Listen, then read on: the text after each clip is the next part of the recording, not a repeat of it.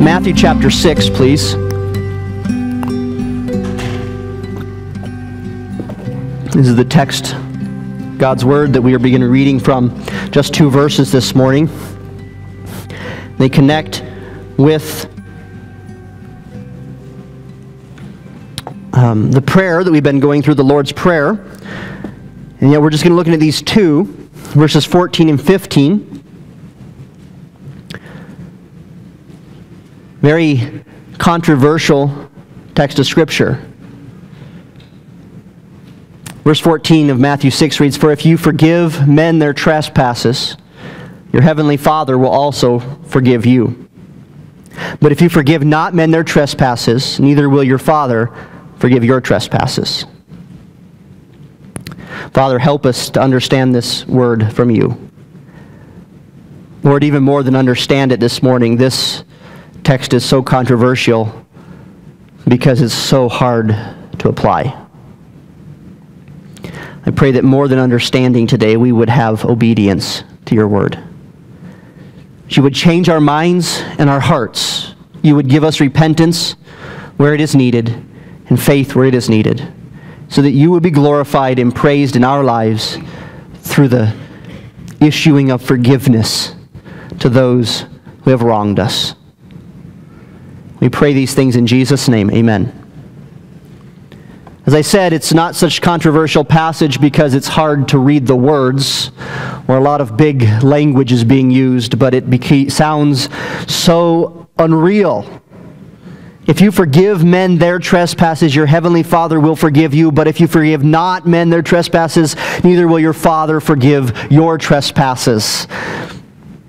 Now, in order to understand what he's saying here, first let's back up. If the Sermon on the Mount is, as I and many others argue, Jesus teaching what the heart, the internal reality of true Christianity looks like, then the Lord's Prayer and this section that's an addendum to the Lord's Prayer also is focused in on the heart. So it's not about saying forgiving words, it's about the heart of forgiveness.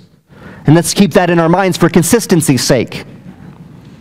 Our actions reveal our hearts, so it clearly flows that how we orient our internal thoughts, our affections will be known by our external actions and words. Prayer, which we've been studying, is using words, right? Prayer is speaking words, but it is using words that have their basis in hearts. And that's important to understand. Uh, Cyprian, uh, the pastor of Carthage in North Africa, who lived and ministered around the middle of the third century, said concerning prayer God hears not the voice, but the heart. So, if we are thinking about how to pray, which is what this text so far has been, right? We've looking at the last month, we've been looking at the Lord's Prayer, the pattern prayer. And if we're asking the question, so this is how we should pray, or we're saying that, the wrong question to ask is, what did you say in your prayer? That's like the pagan vain repetitions of verse 7, right? Or, where did you say it and who heard it? That's the hypocritical prayer he describes in verse 5. The right question, instead of those, would be, what should be my heart's mindset when I pray? That's what should be the right question. That's the question we should be asking ourselves. What should this be when I go to God? What should this be like? What should my heart be like? What should my mind be like? How should I be thinking? Not what should I be saying or what should I not be saying or what's going to get the most quickest answer, what's going to what's to get me the best results. No, what's this like? Because prayer is, is living coram deo in its most expressive way, coram deo in the presence of God. Prayer is in the presence of God in its most visible aspect. And so God looks not on the outward, but God does indeed look upon the heart. So, what's your heart like? What's my heart like? That's really what Jesus is getting at in this pattern prayer. He's not getting at the specific words to use. He's getting at what's your heart like? What's your mind like when you go before your God? And he tells us we are to pray with the heart perspective of sons, our Father who art in heaven. We are to pray as subjects submitted to the sovereignty of God. Our heart must, our hearts and minds must be directed down under God's sovereignty as his subjects. That's why he tells us to pray, may your kingdom, may your name be hallowed, may your kingdom come, may your will be done. Subjects under God. We are to pray as needy supplicants begging before our Savior, Give us our daily bread. Forgive us our sin debts. Lead us from temptation, delivering from evil. And finally, we looked at last week, we are to pray as worshipers with our heart intent on worship. For yours is the kingdom and the power and the glory forever. In the Lord's Prayer, it teaches us how to have our hearts when we pray, how to think when we pray, how to, what perspective we must have. And if we are praying as sons, subjects, supplicants, and worshipers, we're getting it. We're getting it. This is how we're to pray. The prayers of those who know and follow Jesus will be with sincere hearts, living coram deo in the presence of God. Thus, our sincere prayers from the heart will always have these four characteristics. Understand that. It doesn't matter what you're praying for, whether you're praying before dinner or whether you're praying uh, before church, if you're praying publicly or praying in your closet. Not that you always say these words, but the heart of prayer will always be prayed as a son, as a subject, as a supplicant, and as a worshiper. All prayer will be prayed this way. If your prayers are not being prayed with your hearts like this, if my prayers are not being prayed with my heart like thinking this way, I am missing what true prayer is. I'm missing it. You understand that the shortest prayer in the world can, can have all these characteristics in it. God, help me. As a son, I'm calling out. As a subject, I'm recognizing I need help. I am under your wisdom and sovereignty. As a supplicant, I'm asking for the help. And as a worshiper, I'm addressing the one who can do something about it. So even the shortest prayer can contain these four descriptions that we find in this pattern prayer. So pray this way. Now, you said, well, I thought we already finished talking about prayer. We did, except for that Jesus didn't finish talking about prayer he actually adds a little addendum. Oftentimes, I got ahead of myself just a little bit. I guess I didn't, sorry. Oftentimes, at the end of a book, you ever read books outside of the Bible? I hope you do. Hope you read something besides magazines too, and blogs and tweets. I hope you actually pick up books. I, I heard this great phrase the other day. Um, I, I, don't remember who said it, but he said, um, paragraphs um, books don't change us, paragraphs change us. It's true, right? You're reading a book and you come across a paragraph. You're like, this has got it right here. I, I get that one little thing. But then he wanted to say, but I've never read paragraphs that weren't found in books. And the idea being, we should be reading people, reading people. That read broadly, read all kinds of things. Read some fiction, read nonfiction, read biblical books, read non-biblical, read everything that's within the realm of morality and righteousness. But read. And have you ever noticed, one of my favorite parts of reading is actually, because I'm kind of weird, um, one of my favorite sections in reading books is the um, table of contents. I love the table of contents, and I always read the table of contents. Most people skip it. I always read it because I, I like to know where the author's going before I start reading him. And I, I, I, get an idea of his outline from the table of context. I also read the forewords. I always read the forewords in books. You may not read the forewords in books. Like, this is just the stuff to get to, you know, get past this. No, the foreword, I love the forewords because that's where you actually have the author usually giving his reason behind the book, his motive. And I, I like to know the guy a little bit that I'm going to read.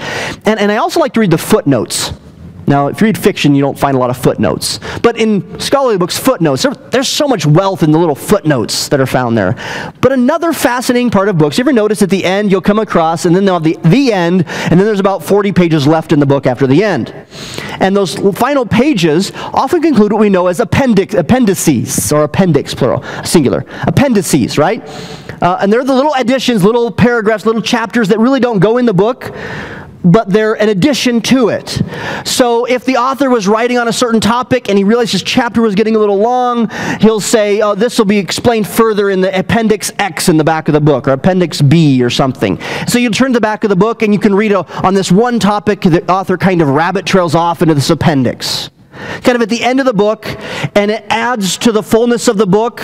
It's not really a part of the story, That's actually what we have here in Matthew chapter 6, 14 and 15. It is an appendix to the Lord, Lord's Prayer.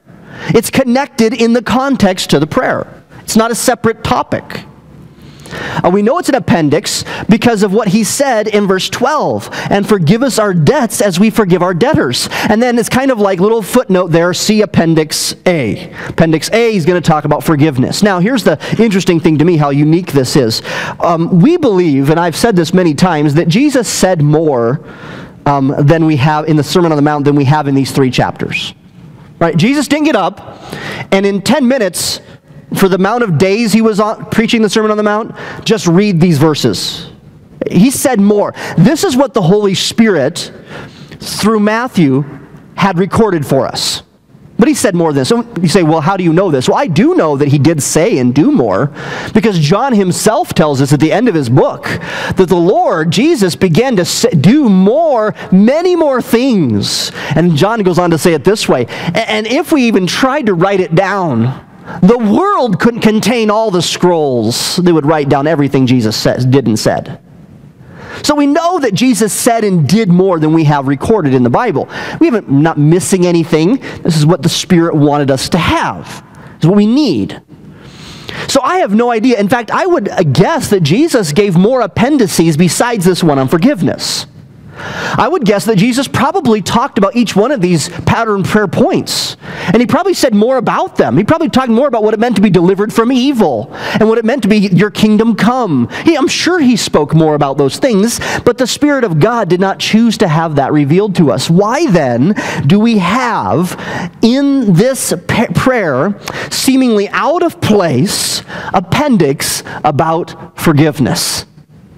Why do we have this? Why do we have this little rabbit trail, this little off topic, so to speak, teaching from the prayer on forgiveness? And specifically, not forgiveness with God, but forgiveness with other people.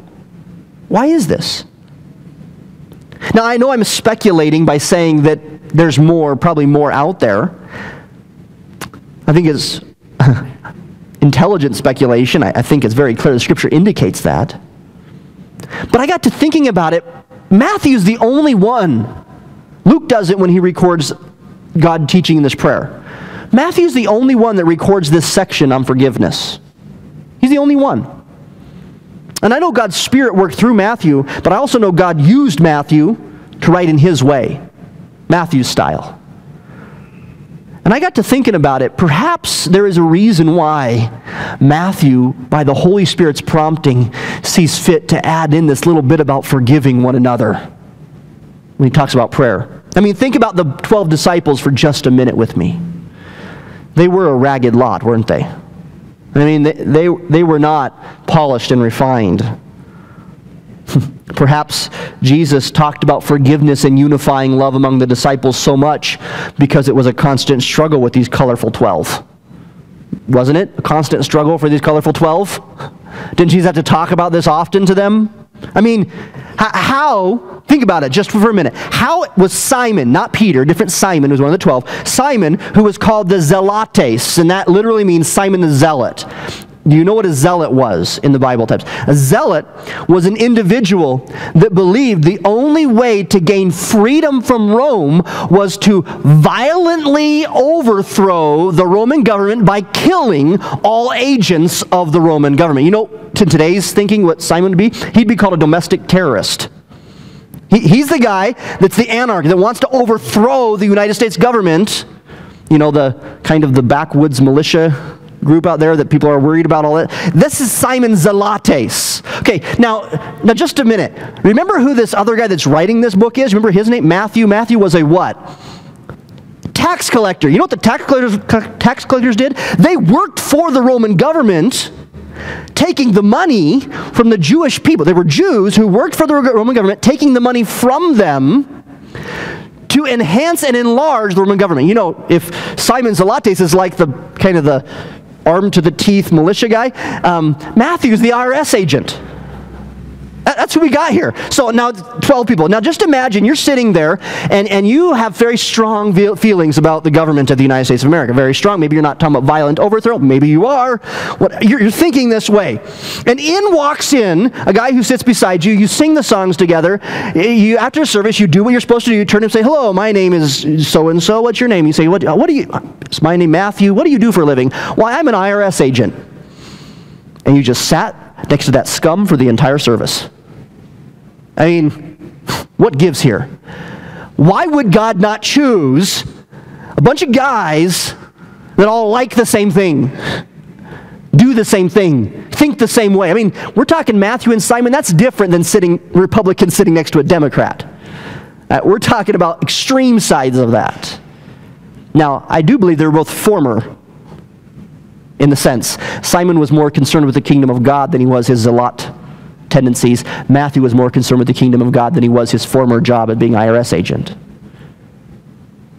They were former. But you have ideologies that run deep. Prejudices run deep. Perhaps this appealed to Matthew in this addendum because Matthew had been so impressed with the depth and completeness of Christ's forgiveness in calling him a tax collector and Simon the Zealot to serve, not just tolerating one another, but to serve as God's chosen alongside one another. There was only 12 of them. There was only 12 of them, and God had chosen them to serve together. You do realize now the early church, they eventually they spread, but in the early church, it went more than just two guys that tolerated each other in the pews. You know who made up the pastors of the early church in Jerusalem? The elders, the 12 disciples. I mean, Simon and Matthew, at some point, probably early on, were not only in the same church, they were both pastors of the church. That only happens, that only works if there is a great deal of relational forgiveness. And that's what we see here God taking absolutely unique and different individuals in the calling of the 12 and bringing them together and saying, Not only are you going to tolerate each other, you are going to serve me together. You're going to serve me together. Because if God can reconcile Simon the Zealot with Matthew the tax collector, he can reconcile me to himself.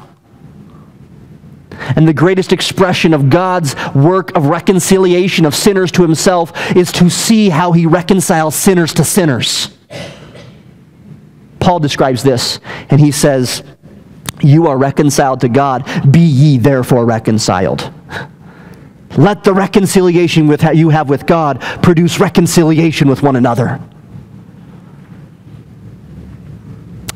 Now, I don't know for sure. I am speculating a bit, but I wonder if that's not why Matthew, by the Holy Spirit's prompting, did not add this, put in this addendum that Jesus taught, this little appendix about forgiveness when it comes to prayer.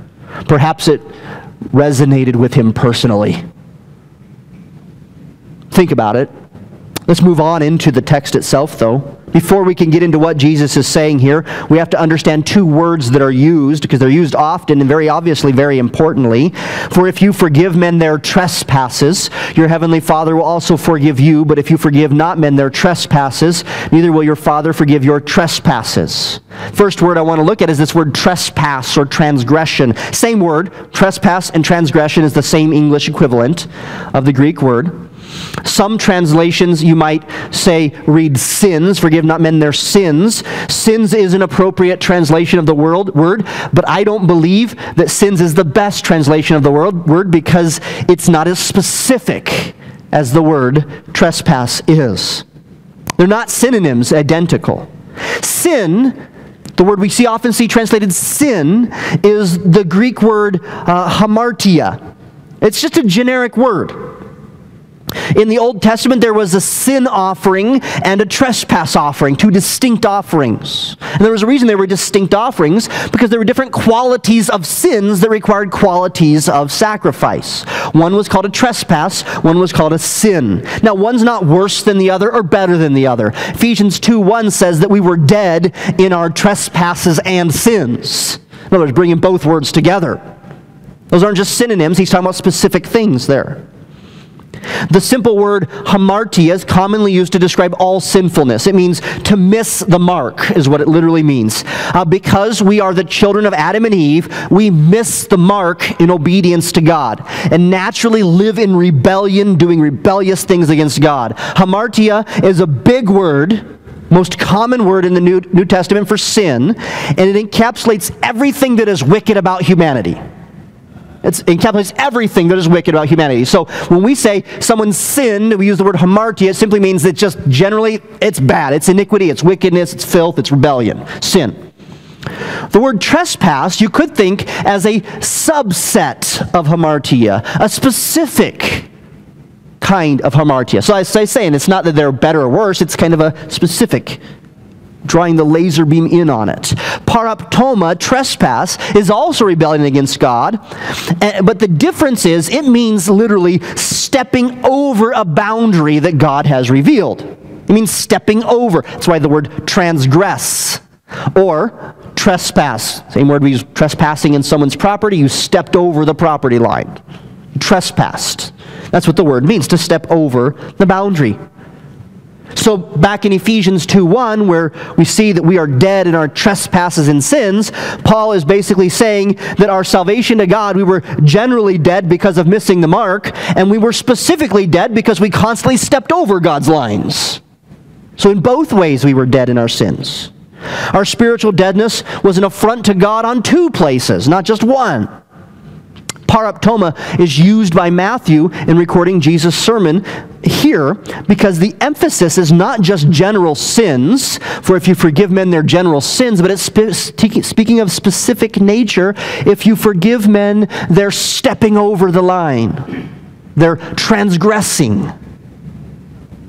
Paraptoma, trespass, is used here. It brings to mind a personal willing violation, and this is the key, against relationship. Against relationship. This fits the context very well to use the word trespass, since the pattern prayer was about how we pray as sons to our Father. They're talking about a relationship to God. Now think of trespass here in these verses like your four year old child who you have warned not to hit his little sister. He said, Don't hit her. And so he picks up the toy, looks you in the eye, and you say, Don't do it. He looks back at you and says, No, and swings away. Now, however it happened, right, he disobeyed. But isn't there a sense in which his rebellious act was personal against you and your word? And it wasn't just that he did the sinful act of hitting the child and disobeying, it was that there was that willing, no,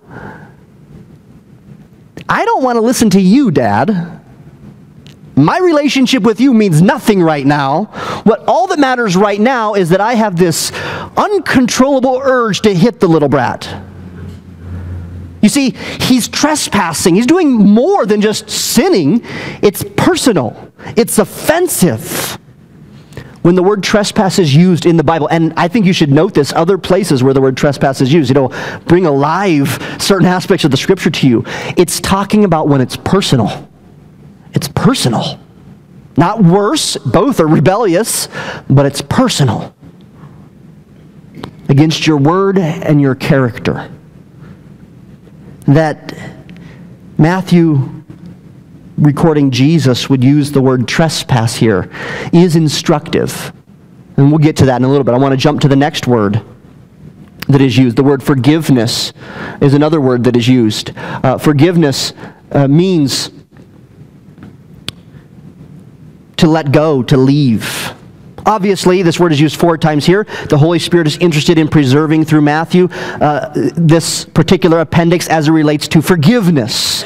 The point is obviously not primarily God's forgiveness of our sin, which seemed to be the point of the particular prayer, but our forgiveness toward a fellow sinner. That seems to be the emphasis here, right? It's really about forgiving others, with the idea of God's forgiveness as being a part of the reason why we forgive others. But what is forgiveness? What does it mean? The, um, forgiveness, and I have an opportunity to do a lot of biblical counseling, and it seems like the topic of forgiveness is constantly there regardless of what kind of counseling it is we're doing. And there seems to be a lot of confusion, I believe, in defining the term. So before we look at the text, I, am going to try to help us define the term forgiveness and then go into the text. Um, there's a lot of my sermon today will be explanation before we get to the text, but I think it will all make it quick when we get to the text. It, it'll come together. Um, the root meaning of the Greek word aphiemi, forgiveness, means to release, to let go, to give over, to hand over. It was classically used as a banking term, referencing the wiping away of a debt, marking it as paid. Um, when used like this in financial terms, it implied that even if the creditor wished to bring back a debt that had been forgiven, he had no power to make it reappear on the ledger. It was wiped clean. The debt was released. It was let go, one might say. The debt is forgiven. The word also, if you'll notice, has a very clear present tense idea. Let me explain it this way something that was forgiven is forgiven, or it never was forgiven. Let me put it this way. The present continuative idea is very important because it's far better to hear someone say, I am forgiven, rather than to say, Well, I was forgiven. It's different. When we promise someone forgiveness, we need to stop, we need to keep the present idea before us and don't ask someone, Well, have you forgiven them? That's the wrong question to ask. The right question is, Are you forgiving them? It's a present idea. Are you forgiving them? We often think of forgiveness as something that we did. We check that one off. I forgave them. I forgave. And then we find 20 years later, the thought comes rushing back to our mind, something they did to us, and we say, wow, 20 years ago, years ago, I guess I never did forgive them. Well, that's the wrong way to look at it. Forgiveness is a present continuative idea. And so it's more about what I'm doing now than what I did then. It's about am I forgiving? Just like the word believe is a continuative idea. It's more about, rather, not did I believe, but do I believe? It's the idea here. So we need to ask the right questions there. It's the continuative idea. Um, looking through the scripture, as well as thinking through human experience, has convinced me that we really mean three different things. And sometimes we're not clear on what we mean in these three different things when we talk about forgiveness. And I call these the sub points of forgiveness. I know it's really generic, isn't it? The sub points of forgiveness. Um, first kind of forgiveness or type of forgiveness is judicial forgiveness. Now, judicial forgiveness is being released from a judgment or penalty that comes from doing wrong. In financial terms, judicial forgiveness of debt means they don't lose the house. In legal terms, judicial forgiveness means the criminal does not go to jail, being either acquitted or by a jury or judge or pardoned by the governor. Their debt is forgiven. They don't have to pay it anymore. There's no penalty upon them. Judicial forgiveness is not getting the penalty deserved for the wrong, the wrong that is done. I think a fantastic synonym for judicial forgiveness is the word pardon. Pardon. Now, interestingly, think with me, pay close attention. Judicial forgiveness says nothing about relationship. The governor who pardons the criminal at the 11th hour does not necessarily have a relationship with the criminal. That kind of forgiveness is simply the releasing of the penalty, the foregoing of the penalty that is deserved. Often, when we ask someone for forgiveness, we are not necessarily asking for a restored relationship. We're often asking for judicial forgiveness. We just don't want the penalty. When we're asking them, please don't give me the penalty. Please don't bring the consequences upon me for this. That's a kind of forgiveness. Now, notice, think with me further here. Only someone who has judicial authority can actually give judicial forgiveness, right? I mean, I can call up the prison all I want and say, I hereby pardon the criminal. And the guard the, would say, Who are you? And I say, Well, I am Matt. And I live in Taylorsville, and he would say, Why are you calling us? You have no authority here. I don't have any judicial authority on that case, therefore, I cannot issue judicial forgiveness, right? It's true here when we think of this idea. Let me give you this example. If someone breaks into my home and steals my things, even though I have been victimized, I am not the only one who has been victimized. You say, what do you mean you're not the only one? Well, we have this thing called laws. We live in a community of civilized people with civilized laws. And when someone trespasses the law, they actually trespass more than me, they trespass the community. They, they, trespass more than I'm not the only one. Therefore, I can't say, well, it's just me, so I can go out and get retribution. No, I can't do that. Why? Because they violated more than me. They violated the community, violated the trust. They violated the laws that they have written down, their agreement they've made to live in this civilized community. Thus, they have to pay for their crime. I cannot judicially forgive him I cannot release him from jail time, even if I want to. Even if I say, I don't want to press charges. It really doesn't matter. He's broken the law. The police will say, well, he's a thief. We're, we're pressing the charges. It's talking about criminal matter here. It's, I have no judicial authority, therefore I cannot issue judicial forgiveness, even if I wanted to. Now, I could be a nice guy, and you hear this, see this all the time. I can get in front of the news cameras and say, I forgive this man for what he has done to me and my family. But there is no power in those words to release him from the penalty of his crimes. I can't do it. I don't have the power to pardon him. In some small way, perhaps I can choose to not inflict some penalty upon him, but really, that's not the word forgiveness. That's the word of not getting revenge. It's different altogether. Now, Jesus, in saving us, release, pardons us. He releases us from the, he gives us judicial forgiveness. He releases us from the penalty of our sin. But that's not all. Because there's another kind of forgiveness. This kind of forgiveness is called relational forgiveness. This is another aspect of forgiveness. It's restoring the relationship. It goes along with judicial forgiveness. And as judicial forgiveness is primarily about releasing of a penalty from a trespass, it's not concerned with relationship. Relational forgiveness is not so much concerned about the penalty. That has nothing to do with it but about restoring the relationship of the broken transgression. Relational forgiveness is simply promising that I will not let the damage done by the sin, by the trespass, stand in the way of an ongoing process of restoring the relationship. Relational forgiveness is, in essence, saying, I'm going to seek to relate to you as I once did. I'm going to relate to you as I once did, even though you've wronged me. In order for judicial forgiveness to have power, one must have some kind of judicial authority. And in like manner, in order for relational forgiveness to have any meaning, one there has to have been some kind of relationship. In the first place, Perhaps to some degree, when I forgive relationally, I may also be saying that if in the future a relationship did develop, I would not let that hinder the possibility. But it seems rather clear that relational forgiveness is only possible when there's a relationship. So the previous illustration about my thief makes sense that I can't judicially forgive him, and it really makes no sense to say, well, I'm going to relationally forgive him. I didn't have a relationship with him. I can't restore something there. But perhaps take my illustration, tweak it a little bit. What if that one who broke into my home is my adult son?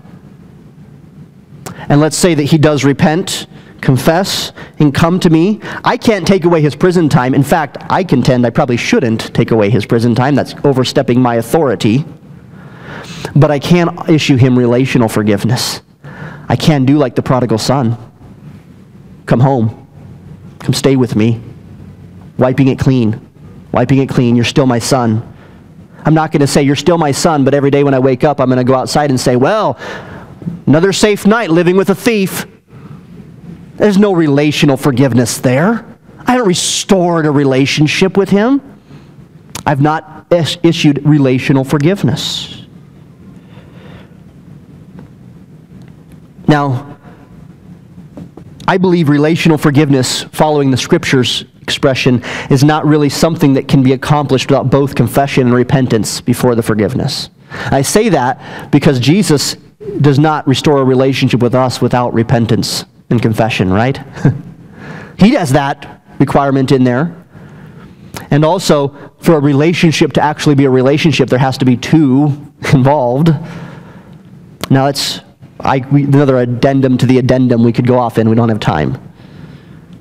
Also, another addendum is there ever a time when there should never should not be a restored relationship? I think there are times, some sins committed, where relationships should not be restored because of the danger they bring. Molestation, sexual assault, those kinds of things. But that's another addendum to the addendum. To the addendum. We won't go through that. I'm going to move on to the third kind of forgiveness, personal forgiveness. This is the third aspect. And this is really what we usually mean when we talk about forgiveness. This is the actual one where it has nothing to do with our relationship with them, or we can't do anything about the penalty, but we're saying, I forgive you. Often what we're doing is we're saying, I release my perceived rights to hold this against you, to gossip about this, to bring this up. I am not going to think about this. I'm not going to dwell upon it. It's not going to be something that's in my mind. It's I'm releasing of the bitterness. I believe this is what Jesus expressed when he said on the cross, Father, forgive them, for they know not what they do. Think about it with me for a minute. Was Jesus issuing judicial forgiveness? Was he pardoning the sin of those who crucified him? I don't believe so. I believe he would pardon their sin, but everyone comes to him the same way, right? Was Jesus developing a relationship with all those soldiers and Pharisees, restoring a relationship with them? No, he wasn't doing that either. Jesus was issuing, I, and he's asking the Father to do this, don't hold your wrath against them for this act. He was issuing personal forgiveness. He was committing himself and them to God. He was symbolically expressing that he would have no bitterness. Not that he could, but he was symbolically expressing it. He would have no bitterness, no wrath, no accusation against them, even though they had personally hurt him in so many ways. This kind of forgiveness is not releasing a penalty, nor is it restoring a relationship.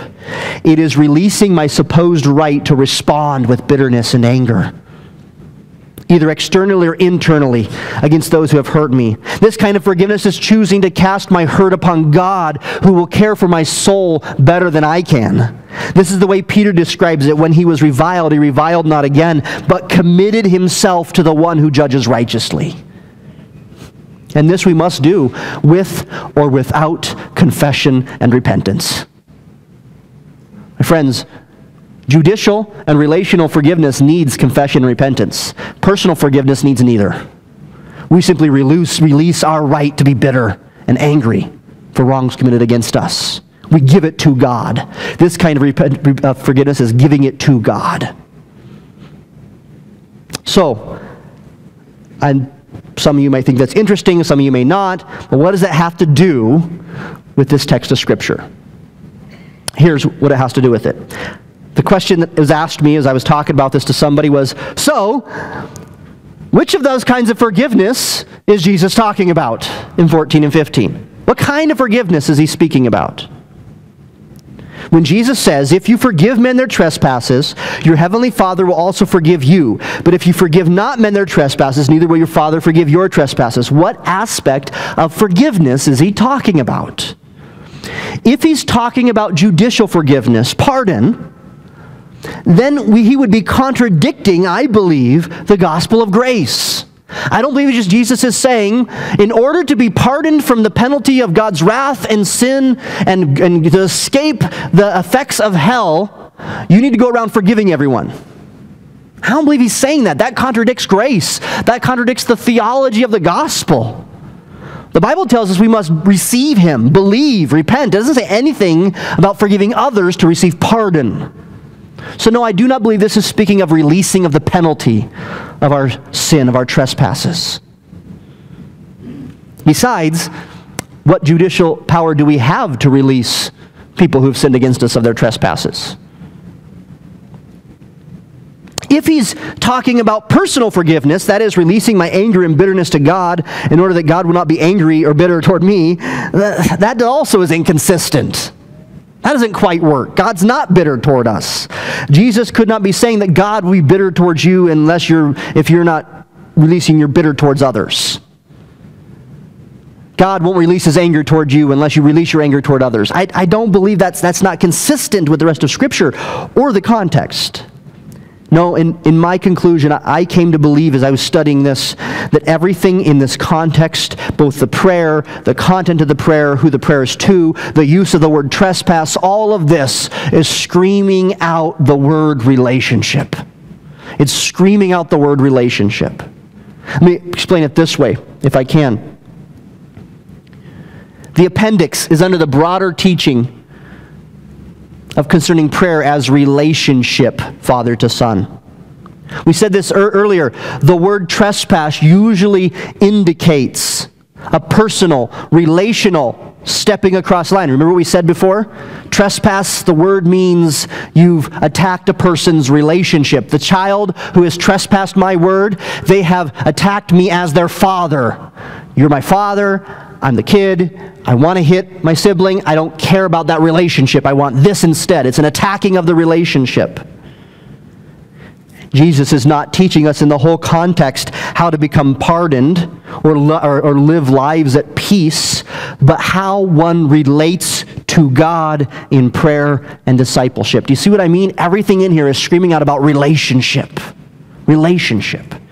And so I believe Jesus is pointing out to this idea of a, re, a personal relationship a personal relationship with God. He's not talking about, about a personal relationship in becoming born again or being saved, being pardoned for our sin. The whole Sermon on the Mount is not talking about how to become Christians, right? It's about how we are as Christians. And I believe what Jesus is saying, you could substitute this word if it helps make it clear. And he's saying, if you are unwilling to reconcile with your brother, relationally forgive them, what then makes you think that you have a right relationship with God? What makes you think everything's good this way if it's bad this way? And this is actually what I believe makes this powerfully convicting. I'm adding my commentary here, but I understand Jesus to be saying, if you will reconcile, you will relationally forgive those who cross that line against you, you will have that, enjoy that reconciled, relationally forgiven joy and relationship with your Heavenly Father. But if you cannot reconcile with those who have gone against you personally, you will not experience the greatness of that relationship with your Father. Jesus, I don't believe, is saying that there is some requirement to become forgiven judicially or personally.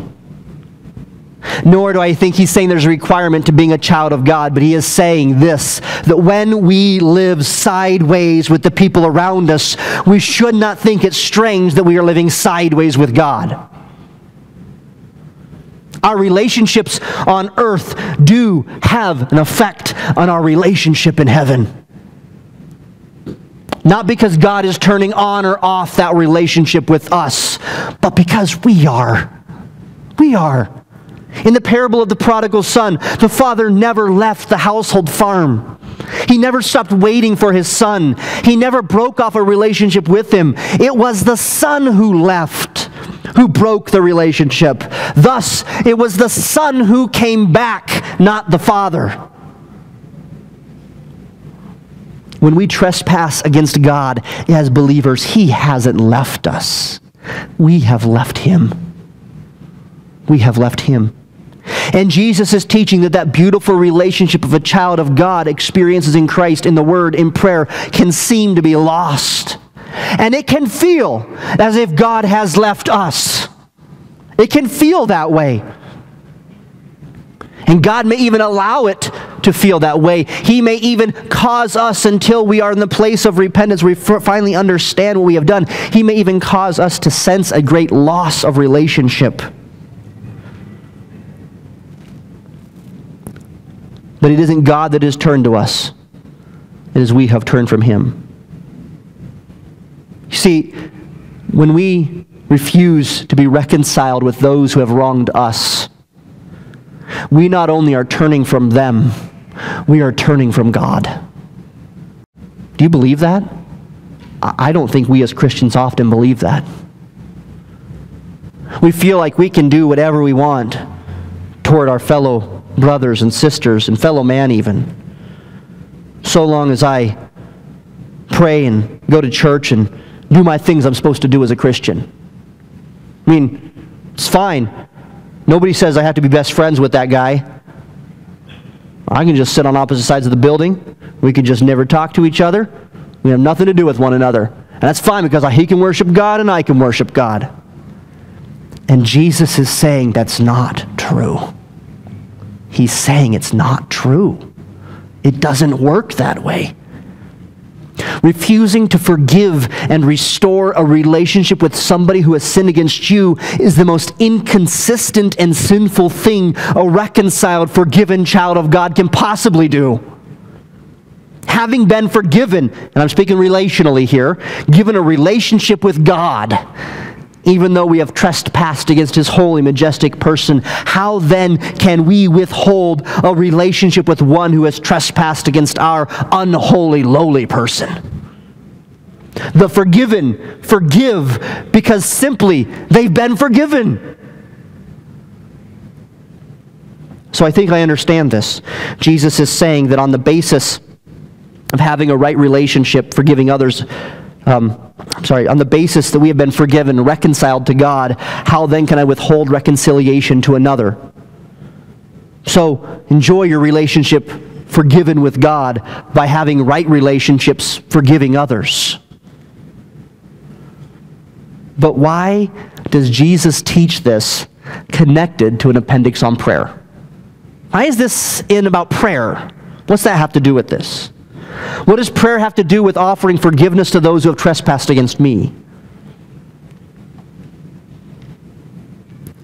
There's a couple of things that come to my mind. One of them is the greatest expression and mark of our relationship with God is our right, our ability, and our freeness in prayer before the presence of God.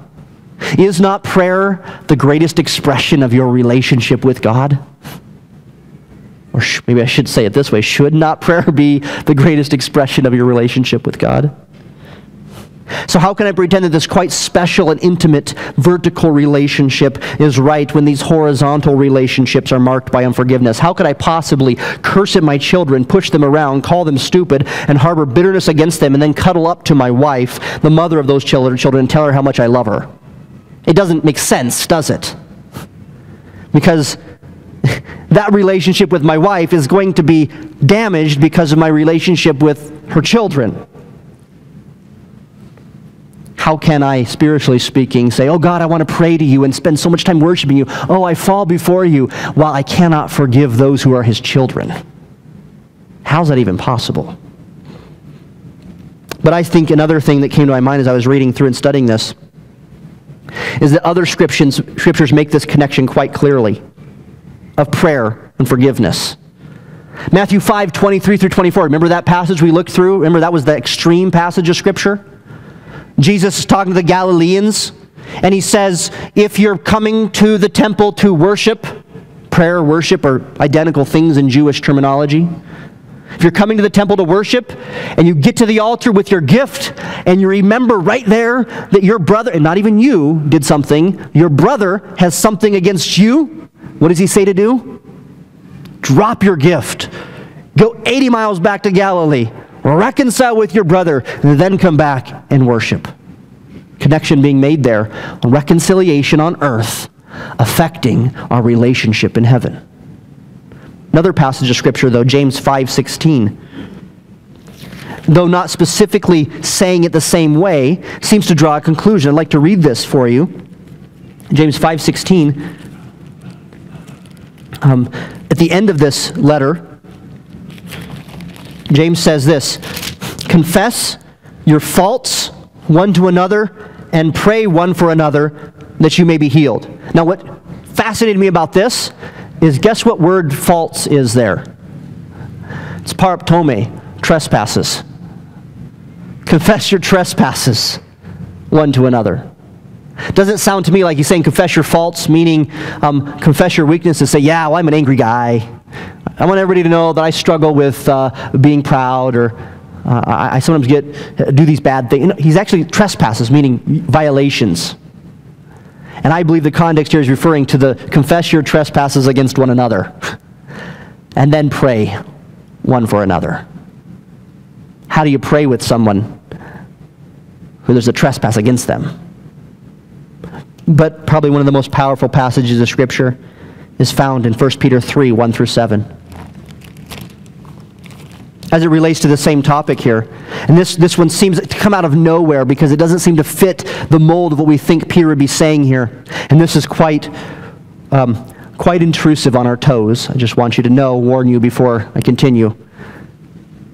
1 Peter chapter 3, verse 1, 1 through 6, he talks about women, talks about wives, um, and specifically it's talking about uh, a wife who is married to an unbeliever, an individual um, who is not happy about her faith, what she's supposed to do. And he tells us in 1 Peter chapter 3 what she's supposed to do is she's supposed to have a beautiful spirit. Not worry about the beautiful outside, not try to fix that up to make her husband like her. Worry about this, her heart. And he gives this hope, perhaps by her chaste lifestyle coupled with her, coupled with her reverence, he might be won even without the word. Even without the word. So we, that's what the topic is about. And he spends all this time. He gives Sarah and Abraham as an example of this. And, then, and they say, well, how is Sarah an example of this? This is what I think is fascinating about this. Um, he's talking in the context about bad situation. He's not saying Abraham was an unbeliever, but he is talking about what Sarah should have done and what often she did when Abraham was making wrong choices. That's the context there. She still reverenced him, even though he's making the wrong choices.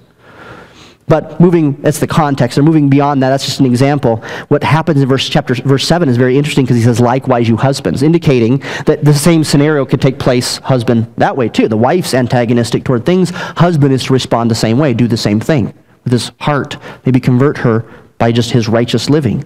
And he says, instead of for the husband, it's by dwelling with them according to knowledge, um, being intelligent in how you live with them, giving honor to her, giving honor to the wife that he could even think of as a, to use the word hopefully not get in trouble, to give honor unto the shrew.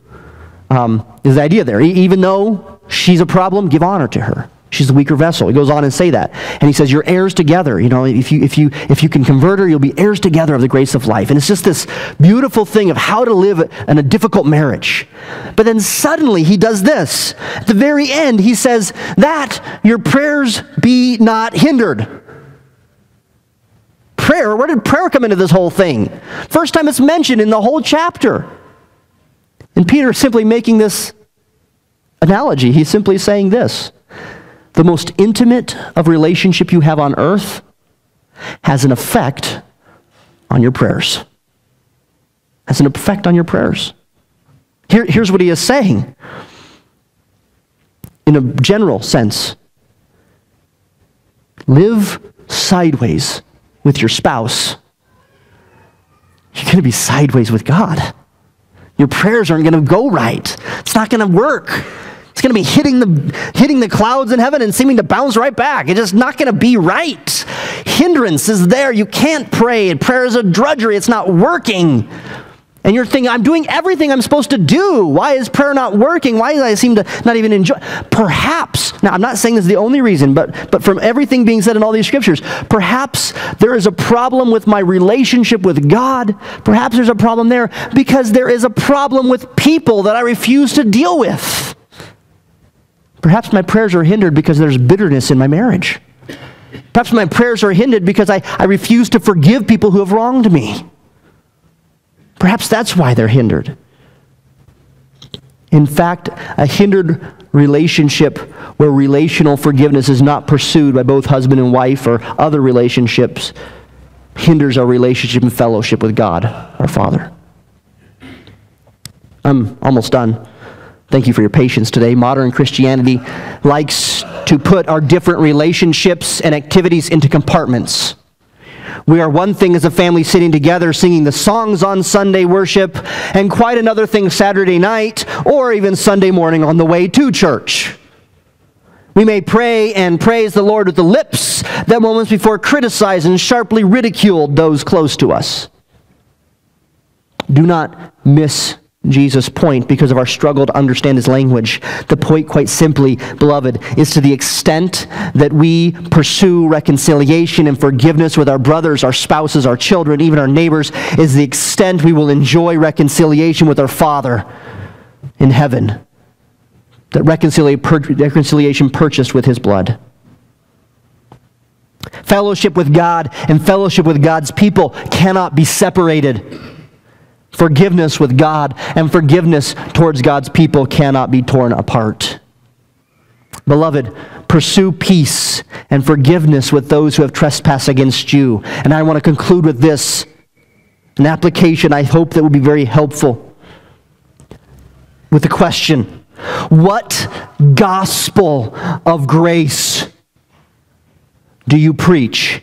Has salt and light, and salt and light, where God forgives you the immensity of your trespasses against Him, but you have little room in your hearts to forgive those who have trespassed against you. What gospel is that, anyways?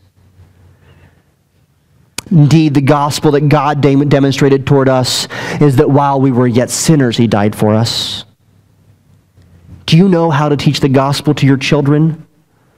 Teach them to confess and repent, and when they do, embrace them, love them, kiss them, cherish them, go get ice cream with them, run and play with them, restore the relationship with them.